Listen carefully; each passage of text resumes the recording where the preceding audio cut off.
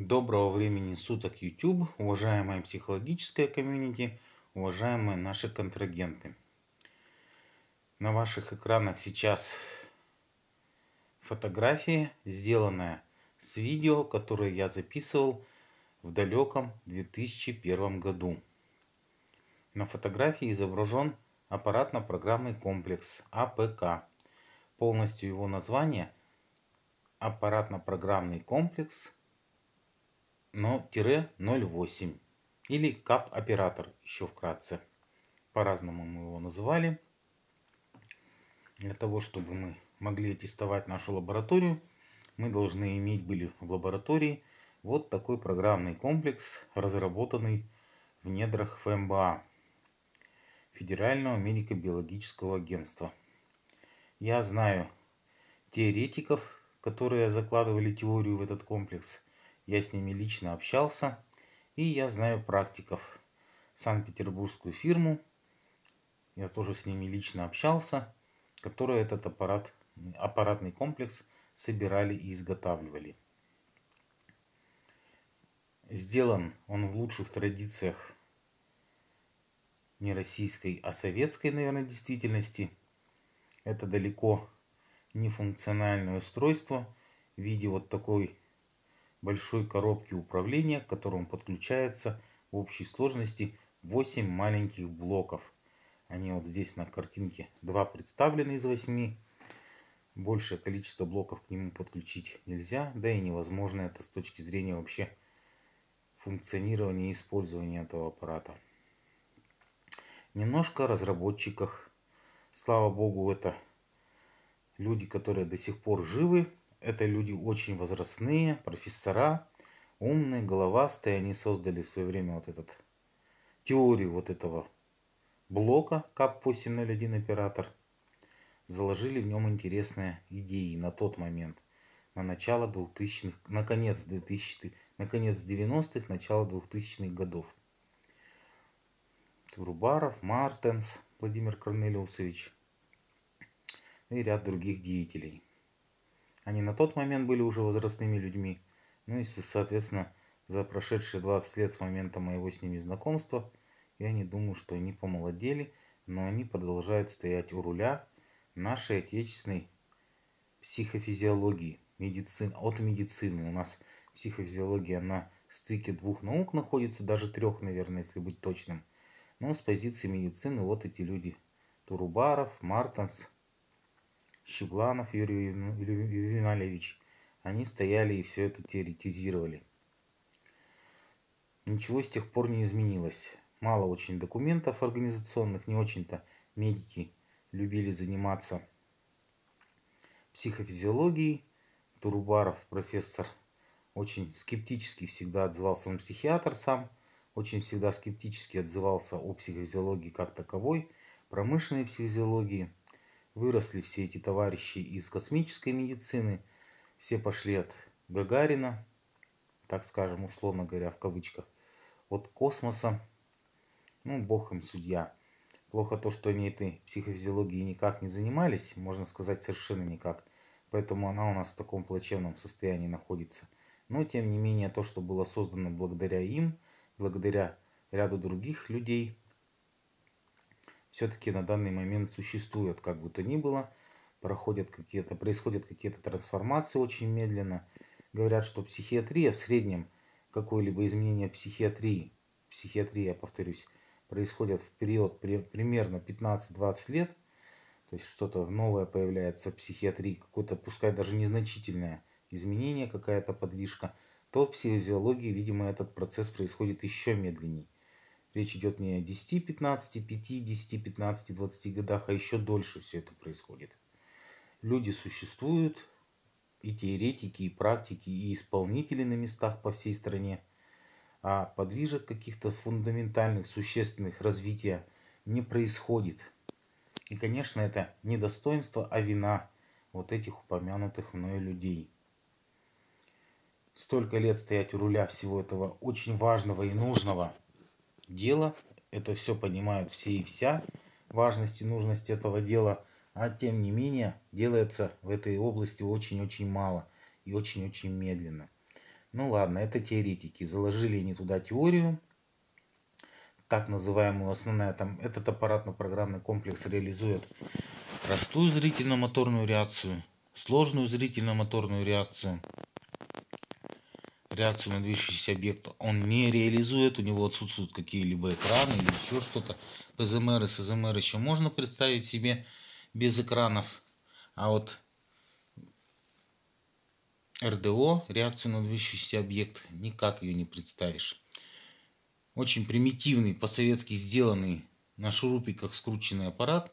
8 блоков через кабеля все это собирается, соединяется. Люди надевают вот такие вот крокодильчики себе на запястье, датчики и нажимают кнопочку. Слева кнопочка и справа кнопочка. Загорается лампочка по центру вот этого блока. Она, если зеленая, надо нажать левую клавишу этого блока. Если красная, надо нажать правую клавишу этого блока. Нормально, хорошо реализованная простая зрительно-моторная реакция. Или сложная зрительно-моторная реакция РДО невозможно использовать с этим аппаратно-программным комплексом. На тот момент не было возможно использовать. Ну и, соответственно, еще этот аппарат замерял вариабельность сердечного ритма. Это отдельная тема. Сразу скажу, это бред собачий. Я не буду подбирать слова в этом смысле. По методу профессора Баевского, это профессор, который закладывал идею оценки функционального состояния человека через измерение его сердечно-сосудистой деятельности и разработал вот эту методику, которая вошла в наз... Ну, получила название и вошла в печальную на данный момент историю на момент 21 года 2021 печальную историю как история о методике, методологии подхода, метода Баевского, рассчитывающего вариацию ВСР, э, вариабельность сердечного ритма. Это бред собачий, а не теория. Это бред собачий, а не теория. Ну, до сих пор наши теоретики от медицины, от ФМБА продолжают в это свято верить, продвигать все эти теории. Ничего не делая организационно. Генералы, то есть сидят там у себя наверху в Москве, не знаю, чем-то э, занимаются, наверное, да. Все-таки человек не может без какой-то деятельности, ну, по крайней мере, созданная под их эгидой, якобы управлением, огромная отрасль и от них зависящих многое количество людей, конкретных психофизиологов по всей стране в лабораториях психологического обеспечения. Они людьми не занимаются, они занимаются всем чем угодно, создавая вот эти глупые комплексы, реализующие две из трех необходимых методик, вкладывают в этот э, комплекс, ну и ряд других, наверное, своих разработок, вот эту конек вот этот свой, который пол, полнейшей глупостью является.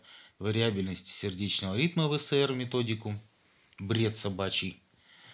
Ладно, этот комплекс, у него нет нормальных настроек, он, конечно, цепляется к компьютеру, этот блок управления.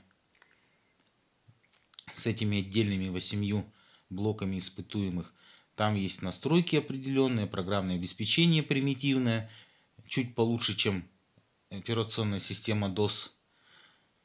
Кто помнит такую? Наверное, никто уже не помнит DOS. Вот она чуть получше была, чем DOS.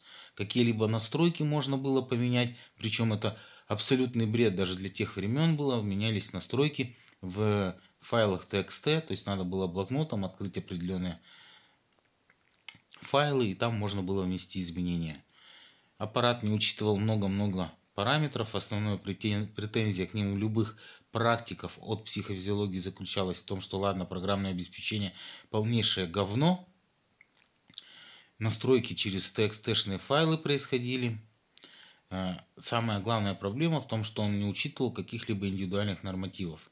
То есть он всех под одну гребенку, то есть вот эти деятели от психофизиологии заложили туда некие нормативы, условно говоря, снятые с порядка 30 работников. По-моему, Волжская атомная станция, Билибина.